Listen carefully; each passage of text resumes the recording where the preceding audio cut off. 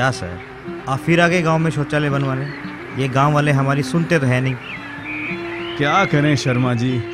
गाँव में शौचालय बनवाना और लोगों को उनके इस्तेमाल की जानकारी देना अपना ही तो काम है।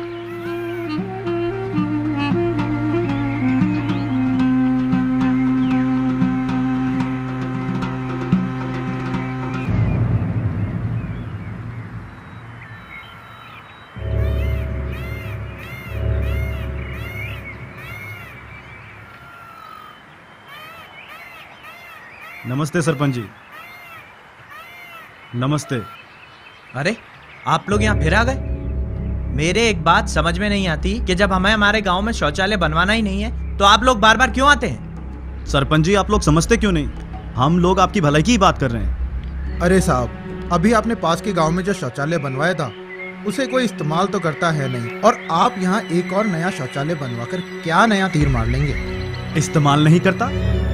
पर क्यों? देखो भाई आदमी जब खेत में जाता है तो एक लोटे में निपट जाता है और तुम्हारे शौचालय में बाल्टी भर पानी लगता है। अरे भाई कौन करेगा इतनी पानी की बर्बादी?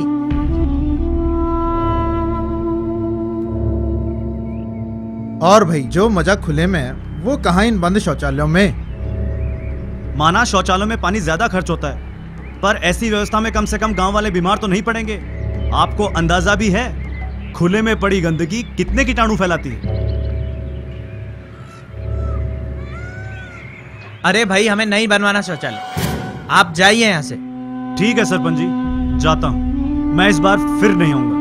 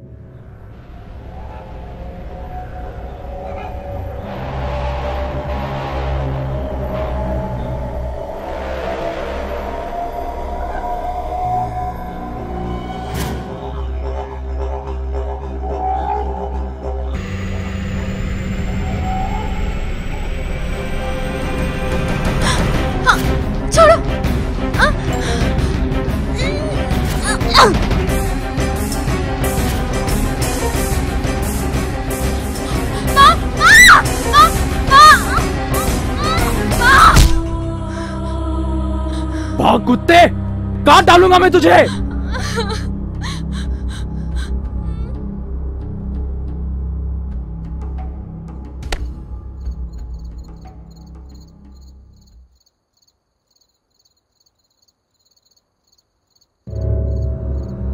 क्या बात है भाई रमन? इतनी रात गए हम सबको यहाँ पे क्यों बुलाया और आप? आप यहाँ क्या कर रहे हैं? सरपंच जी इस बार हम अपनी मर्ज़ी से नहीं आए। हमें बुलाया गया है। बुलाया गया है? भाई किसने बुलाया ही नहीं यहाँ? इन्हें यहाँ मैंने बुलाया सरपंच। जी विमला तूने? हाँ मैंने। पर क्यों? मैं बताता हूँ सरपंच साहब। मेरी छोटी बहन शौच करने रात को गई थी खेतों में। पूरी रात वापस नहीं लौटी। दरिंदों ने उसका बलात्कार करके उसकी शरीर की बोटी बोटी करके नहर के किनारे फेंक दिया। उस रात उसे बचाने वाला कोई नहीं था। और आज वही हादसा मेरी सुधा के साथ भी हो सकता था। वो तो भला हो जो रमन भी वक्त पर वहाँ आ गए। वरना वो दरिंदा सुंदरलाल पता नहीं मेरी सुधा के साथ क्या करता।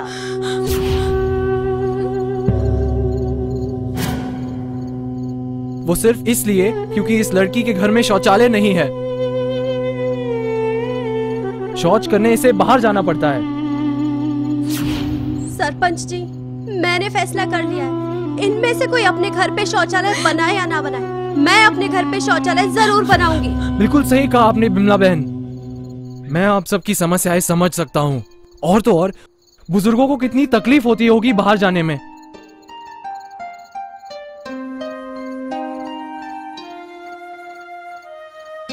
अरे अरे कोई कुछ कहता क्यों नहीं है? हाँ हाँ रमन भैया सही कह रहे हैं। हम गर्भवती महिलाओं को ना जाने कैसी कैसी समस्याओं का सामना करना पड़ता है। आपने सोचा है कभी इस बारे में? हाँ जब कभी बारिश आती है आंधी तूफ़ान आता है तब हम महिलाओं को कितनी तकलीफ़ का सामना करना पड़ता है? कभी सोचा है सरपंच जी आपने? और तो और रात बेरात जंगली जानवरों का भी डर लगा रहता है। आखिर हम सबको कब तक ये सहन करना पड़ेगा? और हाँ सरपंच जी ये जो नथुलाल हलवाई की दुकान में जो मक्खियाँ आती है ना खेत से वो भी अपना रास्ता कहीं और से बनाएँगी। भाई मैं तो इन सब की बातों से बिल्कुल सहमत हूँ। हाँ सरपंच जी इस गाँव में शौचालय ज़रूर बनना चाहिए।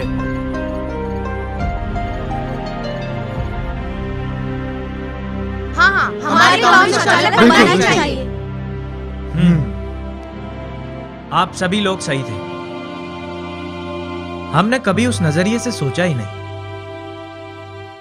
आप बिल्कुल ठीक थे। और हम गलत। आज से इस गाँव के हर घर में एक शौचालय होगा।